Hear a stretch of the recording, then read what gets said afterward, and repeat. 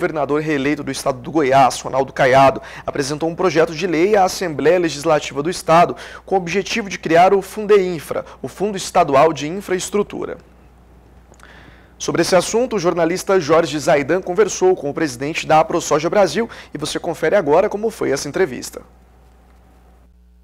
Galvão, muito obrigado pela entrevista. A nota da AproSoja fala especificamente de Goiás, mas na nota vocês trazem uma preocupação para o Brasil. Por quê, Galvão? Olha, justamente, Jorge, aí é, todos vocês aí, a quem nos acompanha através do canal do Boi, é, no Mais Pecuária. Realmente a preocupação é que isso se estenda para o Brasil todo.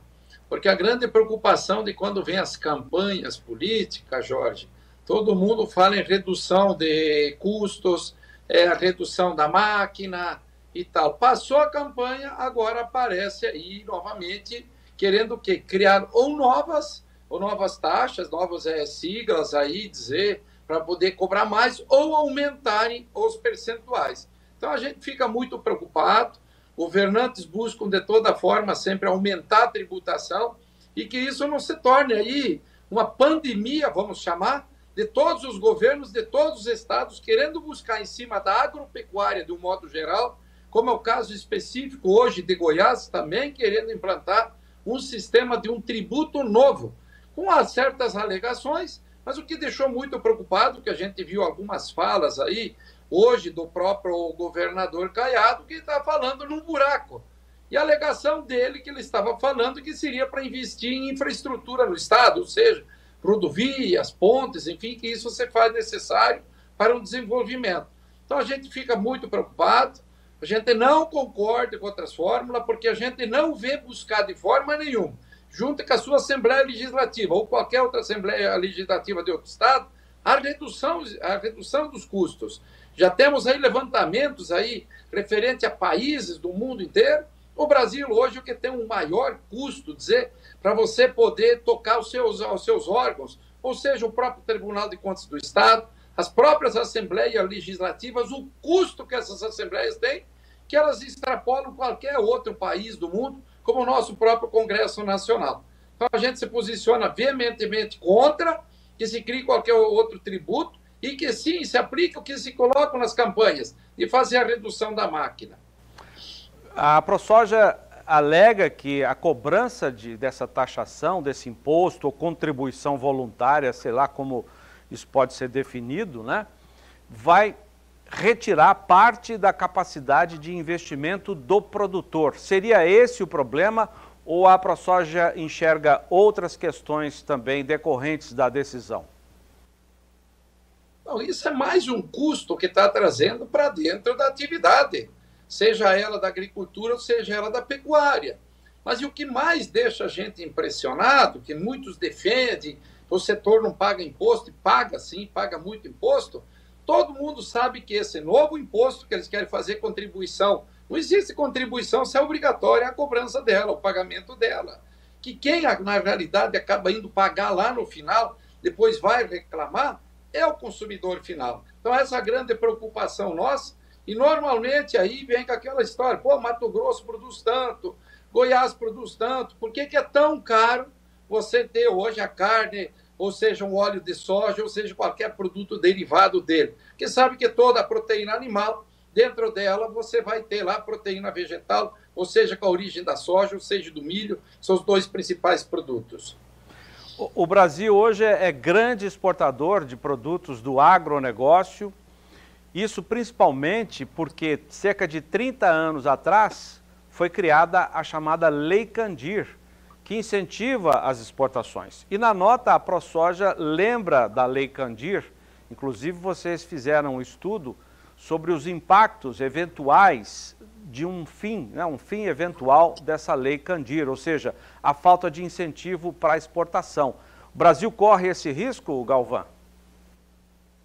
Olha, o momento que você tem aí governantes hoje, principalmente é, do que estão aí querendo se instalar no próximo, no próximo ano, que já vem, inclusive eles também falando em tributações, querendo copiar o exemplo da Argentina, onde podemos dizer com certeza que o produtor rural de lá está falido. não tenha dúvida nenhuma que quando da criação da Lei Candir, foi o que mais incentivou e o Brasil está chegando nesses patamares ou nesses números hoje de produção. Não fosse aí os problemas climáticos que sofremos esse ano também, com certeza o Brasil teria chegado próximo aos 300 milhões de toneladas. Então, que podemos dizer que país nenhum no mundo exporta impostos.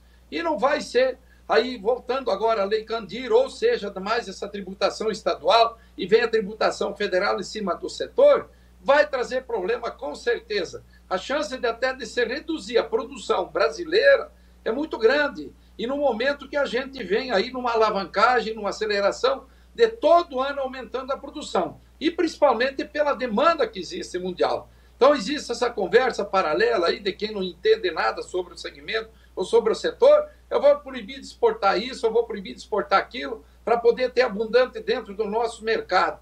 O nosso mercado brasileiro, graças a Deus, nunca faltou alimentos. E se acontecer uma coisa dessa de governantes futuros que possam chegar aí, com certeza será o caos para a produção de alimentos a nível de mundo. A ProSoja pretende encaminhar algum manifesto nesse sentido para a equipe de transição do governo eleito? É, com certeza, né, Jorge? Está esse impasse, é, o governo aí que teve os mais votos ainda não foi diplomado, tá esses manifestos todos a nível de Brasil, que é legítimo, eu acredito que as pessoas sendo é, manifestos ordeiros, como foram feitos até hoje, pacíficos, de direito, isso se concluindo, com certeza a gente vai levar isso. Mas a preocupação é muito grande, porque a fala do que alguns membros é que devem compor o governo preocupa muito e preocupa muito o setor, e principalmente sabendo que já foi governo, já foi governo e tivemos muito problema, muita perseguição em cima do setor por questão de detalhes. Agora, com certeza, se instalando esse governo que está aí, a gente vai ter que negociar com certeza, buscar, mostrar as razões que, que por que, que não pode ser implementado, ao menos algumas coisas que a gente ouve hoje ser comentar na mídia. Porque se isso vier acontecer, com certeza terá, trará, trará ao setor, ao país, a quebra, a queda da nossa produção brasileira. Inclusive na própria pecuária, com certeza, a redução de animais. Então, isso preocupa muito a gente, sim, Jorge. Na equipe de transição para o setor de agricultura, tem gente conhecida de Mato Grosso, né? gente que produz também no estado. Mesmo assim, há preocupação, Galvão? Com certeza, as pessoas aí que menos a gente ouve divulgar, principalmente a questão do Mato Grosso, são conhecidos da gente. Hoje somos aí, vamos assim dizer, adversários políticos, com certeza. Também disputei uma eleição lá no Estado, mas não somos inimigos, com certeza. Temos restrições por algumas falas, algumas declarações deles, mas com certeza, se tornando governo, a gente vai sentar sim, vai conversar, sem dúvida nenhuma, né, Jorge? Tá certo. Antônio Galvão, presidente da ProSoja Brasil, muito obrigado pela entrevista. Seu Jorge, eu queria só fazer um adendo, principalmente a questão de Goiás aí, que a fórmula que existe, o governo não ganhou assim tão folgado dentro dessa primeira votação.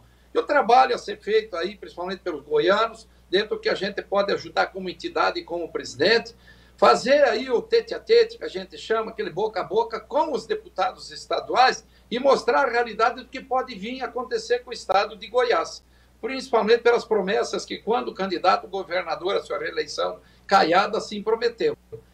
Então, trabalho bem feitinho, bem conversado dentro da Assembleia, acredito que consiga reverter essa situação, essa criação desse tributo. Principalmente, como falei no início, que inicialmente o governador falava que era para investimentos de infraestrutura, que já temos que trabalhar para não acontecer, agora vem aí com uma conversa dizendo que tem um buraco nas finanças do estado de Goiás de mais de 4 bilhões de reais. Então você veja para onde realmente esse recurso vai, caso se implemente nessa segunda votação que deve acontecer, talvez na quarta-feira. Obrigado pela entrevista. Obrigado, Jorge, pela oportunidade mais uma vez também no programa Mais Pecuário e ao canal do Boi.